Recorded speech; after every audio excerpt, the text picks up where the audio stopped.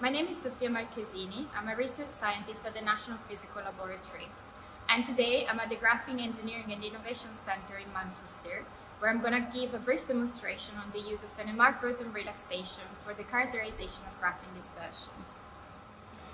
This is a low-field NMR benchtop spectrometer, which we can use to measure relative changes in specific surface area of graphene dispersion. The advantage of this instrument is the very short measurement time and the fact that graphene can be measured directly in dispersion without the need for any sample preparation. So it could be easily integrated into a graphene manufacturing facility as a quality control tool.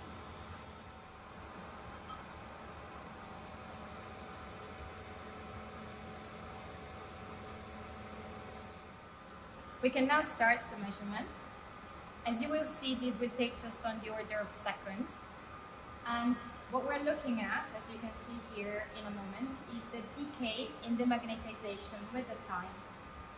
We can then, when the measurement is finished in a second, we can fit this to an exponential decay curve and derive the time constant, uh, which in this case is the T2 uh, relaxation time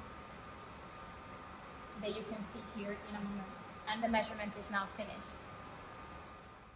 So now that the measurement is finished, what are we going to do with that data? Well, we can plot the relaxation rate, which is just one over relaxation time that we measured, against the sonication time, for instance, of graphene produced by a liquid phase exfoliation. And we can use the relaxation rate to monitor the degree of exfoliation in graphene dispersions.